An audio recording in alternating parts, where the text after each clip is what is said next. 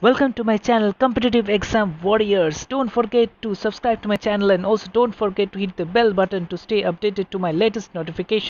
So let's begin with another important current affairs uh, session and this is August current affairs part 6 and as usual it will be presented by me the educator Shovik Maitra. So let's move forward. Now this is my achievement section if you have gone through it earlier so let's skip it and move forward to next slide but if you're a new viewer you can have a look at all these things. Uh, but most importantly don't forget to subscribe to my channel. You will uh, get uh, the link over there. Okay just um, click on it and you will be subscribed to my channel. And also don't forget to hit the bell button. Please go to personalized section and hit all. Okay so that you will be getting all the notifications regarding my new videos whenever I upload them. And also another important thing don't forget to join my telegram channel competitive exam warriors because then you will be getting notifications regarding my new videos even if youtube does not upload them. Sometimes youtube don't give notifications push notifications but if you join my telegram channel then definitely you'll be getting hold of all the new notifications whenever i upload any new video in my telegram sorry in my youtube. Okay and uh, this is my target audience. I hope you know by this way because this is to current affairs and if you want to join Unacademy's classification courses you can use this code PADUSR4SV then you will be getting awesome discount on any Unacademy classification courses right let's move forward and let's come to the first news that is ministry of skill development partners with ministry of shipping. So this uh, government to government news as you can see that is ministry of skill development has inked an mou with ministry of shipping to promote skill development in port and maritime sector. Now this partnership between these two ministries actually seeks to skill reskill and upskill the manpower for the growing maritime industry and as well as development of coastal community now this MOU will offer extensive employment opportunities uh, to particular youth of coastal areas, living coastal areas, strengthen commitment of coastal community development under this important fish scheme that is Sagar Mala program launched by Minister of Shipping. It will work towards uh, nurturing the skilled manpower for the development of ports as well as maritime sector of India and globally. Static news which we will discuss like Union Minister for Skill Development and Entrepreneurship is Mr. Mahendra Nath Pandey and ministers of state independent shipping is Mansukh L Mandaviya. Very very important the static based news. Okay. So let's uh, move forward.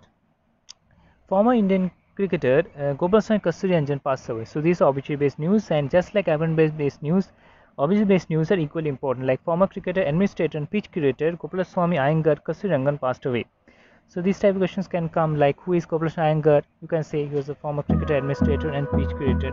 He was born on 12th October 1913 Chennai, Tamil Nadu and he began his career in 1948 as you can see president in Mysore Ranji Trophy and retired from first class cricket after 1960 session. Uh, now this person was a fast bowler who played 36 first class matches and captained Mysore Ranji cricket team uh, now which is named as Karnataka Mysore once like he has also served as uh, chairman of BCCI Board of Control for Cricket and India Grounds and Pitches Committee and vice president of Karnataka Cricket Association KSCA.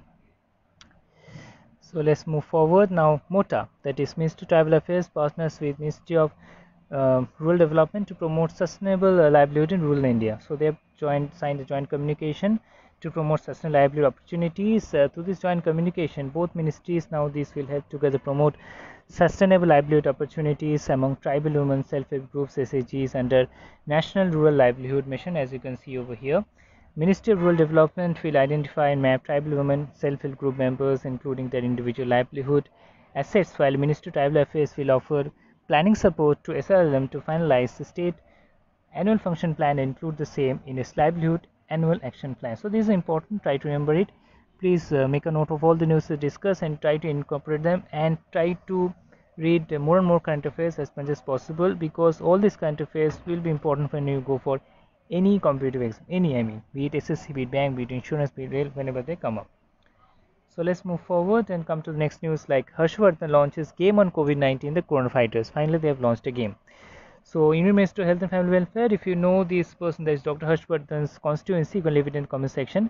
In fact regarding um, constituency of cabinet ministers i made a lesson which you will find. In fact i can give its link in the description also. I think it will helpful for you right? Also you can find it out if you check all my videos. It comes under uh, strategic issue course okay? Cabinet ministers uh, portfolio and the constituency.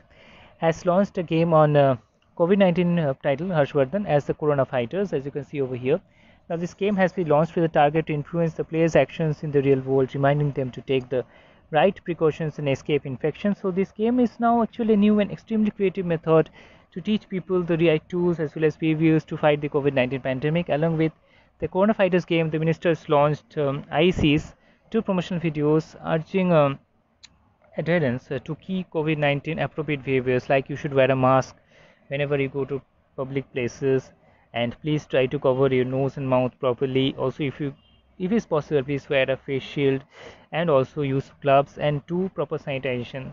That is uh, sanitize your hands in every one hour if you find that you're touching any infected substances. Okay because these virus remains on metal surfaces for two to three days and so on. Okay both products will seek uh, to influence children and through them the elders in the community and spread the message as well as importance of covid-19 appropriate behavior so let's move forward and come to next news like Atal Innovation Mission Science SOI, the system of intent with Business Sweden. So AIM, Niti Aayog and Business Sweden on behalf of India, Sweden Healthcare Innovations has signed a virtual statement of intent that is SOI said to expand the culture innovation in our country, uh, in the country. Okay.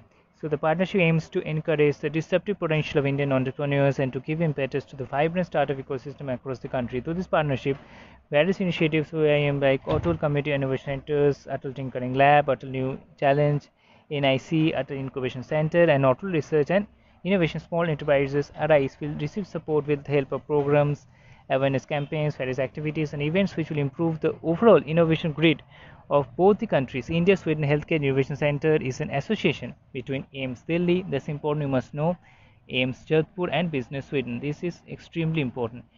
And now what it does is seeks to create an ecosystem of open innovation in both the countries. Coming to last news, this is here important dates like World Senior Citizen Day 21st August. Already I made less important dates, but these dates are newly incorporated so please try to remember them. And if it comes with any theme please try to remember them. Because sometimes themes are also asked because in my exam also three years back i have got hold of an important theme. So you should know the themes along with important dates and regarding important dates video i will give a link in the comment section definitely the world senior citizen day is observed globally on 21st august every year this day is celebrated to raise awareness about issues affecting older people such as deterioration with age and abuse of the elderly support, honor, and show appreciation to seniors and recognize their achievements. The World Senior Citizens Day also recognizes and acknowledges the contributions of older people to society.